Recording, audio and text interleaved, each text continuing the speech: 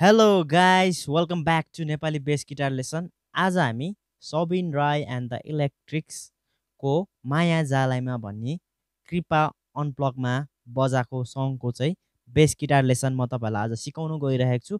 यसको तपाईँहरूलाई base cover सँगसँगै बजाएको चाहिन्छ भने तपाईँले भिडियोको डिस्क्रिप्सनको लिङ्कमा पाउन सक्नुहुन्छ। अनि नेपाली बेस गिटार लेसनलाई लाइक सेयर एन्ड सब्सक्राइब गर्नुलाई चाहिँ नभुल्नु होला ओके यो गीतमा चाहिँ मैले अलिकति हल्का फुल्का इम्प्रोभाइजहरू गरेको छ अनि प्रायः जस्तो यसमा चाहिँ रिफहरू एउटै प्रकारले खेलेको छ होइन? अनि त्यही अनुसार चाहिँ मैले गरेको छु। अनि होपी गाइज तपाईँहरूले यो लेसन हेरेर मन पराइदिनुहुन्छ। अनि सिक्नु पनि सक्नुहुन्छ है त।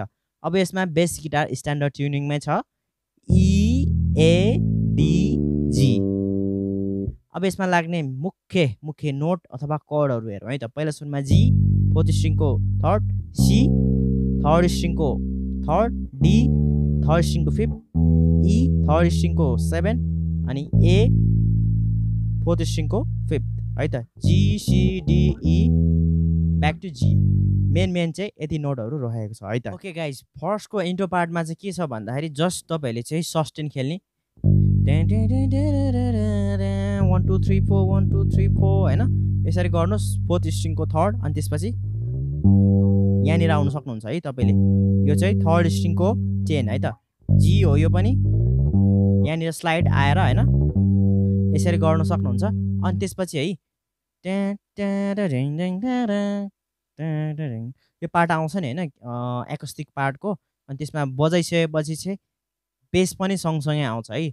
अनि तपाईँहरूलाई म यो बेस लाइन चाहिँ तपाईँहरूलाई बजाउनुको लागि चाहिँ एउटै प्याटर्न म तपाईँहरूलाई सिकाउँछु होइन जसले गर्दा चाहिँ फुल सङमा चाहिँ एक्ज्याक्ट वेमा चाहिँ मैले बजाएको अनुसार अनि त्यहाँनिर अलि त्यही अनुसार मैले मिल्ने टाइपको बनाएको छु होइन अनि त्यस अनुसार हामी गर्छौँ है त। पहिला सुरुमा कसरी गर्छौँ? यसमा चाहिँ हामी हेर्छौँ है त। ल यो पहिला बेस लाइन हेरौँ अनि त्यसपछि चाहिँ फुल सङमा युज हुने टेक्निक्स यही छ है त। यो चाहिँ तपाईँले ध्यान दिएर हेर्नु ओके पहिला सुरुमा चाहिँ यसरी बजाउँछ है त।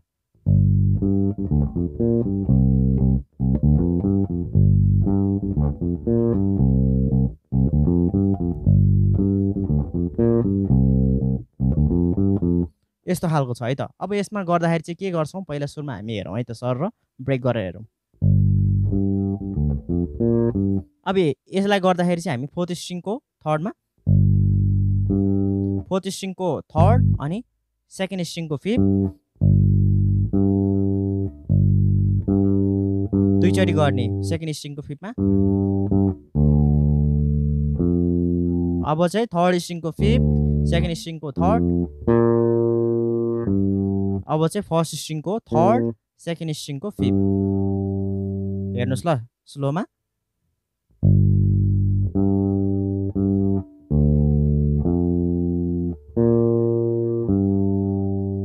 फेरि एकचोटि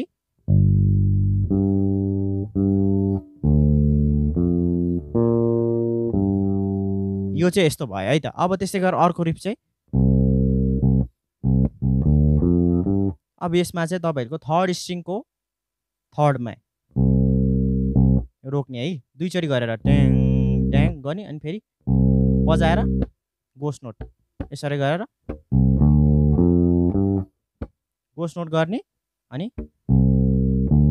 थर्ड फिफ्थ सेकेन्ड स्ट्रिङको थर्ड अनि फिफ्थ अब यस्तो हुन्छ है यो। है याद भयो? अब हेर्नुहोस् ल सबै गरेर हेरौँ एकचोटि स्लोमा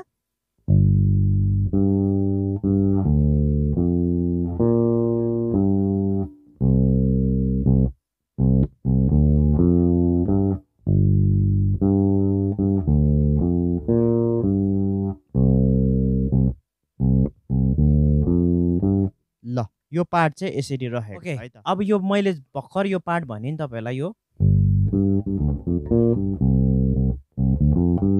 यो पार्ट छ नि तपाईँहरूले चाहिँ कहाँ बजाउने भन्दाखेरि?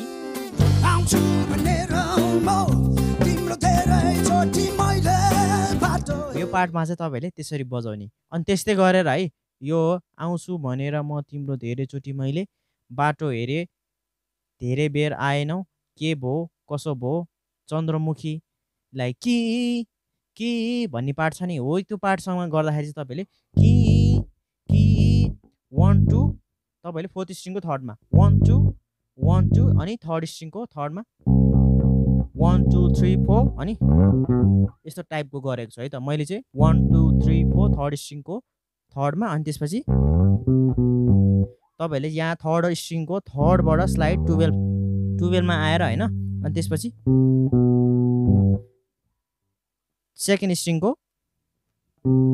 टेन नाइन अनि थर्ड स्ट्रिङ टेन हेर्नुहोस् ल यसमा गर्दाखेरि चाहिँ। अनि फेरि त्यही रिफ आउँछ। पहिला कि अर्कोसँग अनि त्यसपछि माया जालेमा भन्ने बेलामा चाहिँ?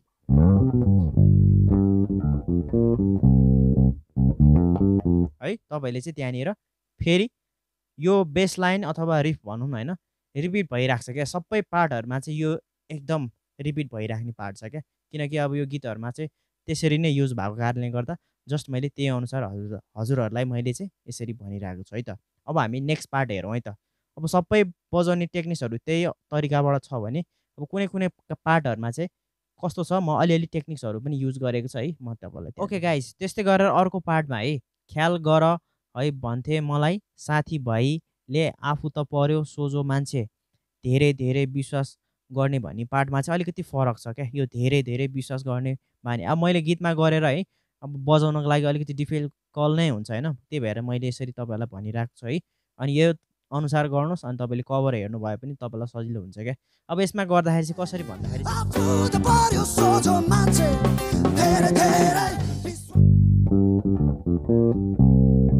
यस्तो टाइपको आउँछ है। अब तपाईँहरूले यहाँबाट चाहिँ डाउन गर्ने छ क्या यो चाहिँ कहाँबाट गर्ने? तपाईँहरूले थर्ड स्ट्रिङको थर्डबाट होइन डाइरेक्ट यहाँबाट गरे पनि भयो होइन यो थर्ड स्ट्रिङको थर्डबाट यहाँबाट तपाईँहरूले चाहिँ सेकेन्ड स्ट्रिङको टेन अनि one two three four one two three four first स्ट्रिङको ten one two three four. यो गर्नुहोस् ल अब हेर्नुहोस् ल यसमा गर्दा मैले भन्नु खोजेको के भन्दाखेरि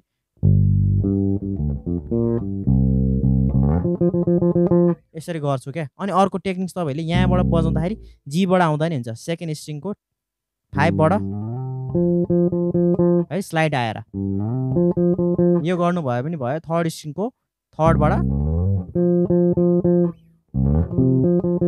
तपाईँले चाहिँ युज हुनु पऱ्यो क्या। सी र यो युज हुनु पऱ्यो। हेर्नुहोस् ल थर्ड स्ट्रिङको टेन अनि सेकेन्ड स्ट्रिङको टेन भनेको मतलब चाहिँ यसरी स्लोमा हेर्नुहोस् ल।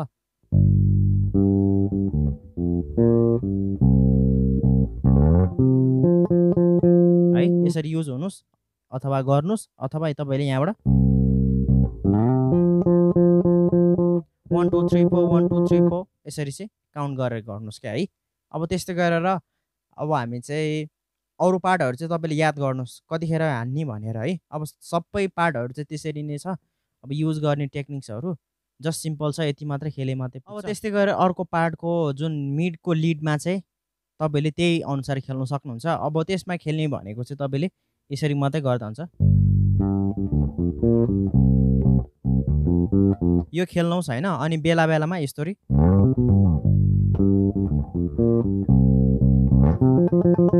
यो खेल्ने पनि मैले अघि सिकाएको थिएँ नि हो यो टेक्निक चाहिँ ओके।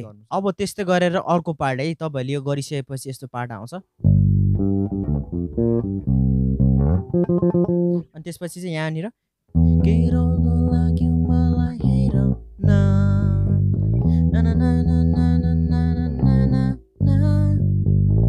है यसमा चाहिँ तपाईँहरूको सिम्पल छ E one two three four होइन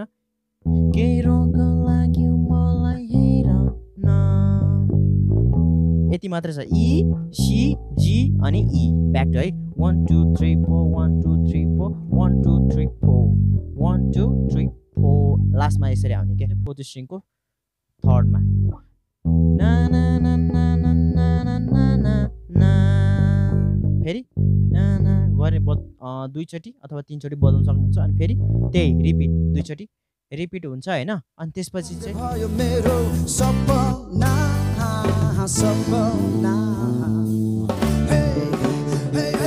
यो सपना भन्ने पार्ट छ नि तपाईँले गर्दाखेरि चाहिँ?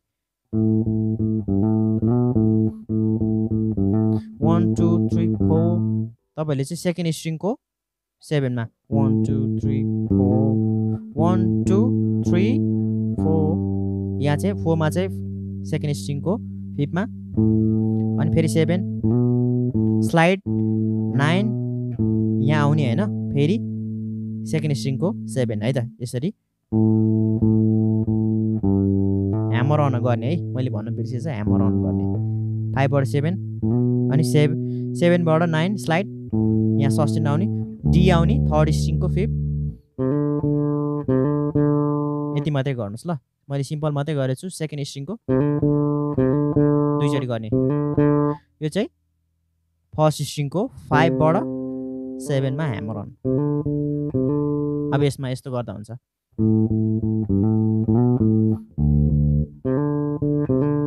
यति गर्नुहोस् ल सिम्पल छ। अब अरू गर्ने भनेको टेक्निक्सहरू चाहिँ त्यही नै छ। यही फेरि सबै रि दोहोरिएर हुन्छ क्या है?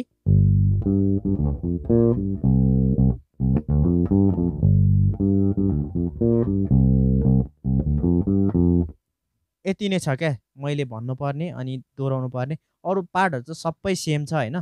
तपाईँहरूले चाहिँ यो हेर्नुहोस् एउटा यति रिफ सिके मात्रै पुग्छ तपाईँहरूले जस्ट सिम्पल वेमा छ यो आजको लेसन।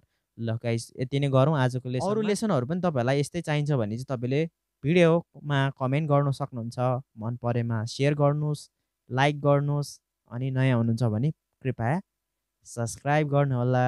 Okay thank you.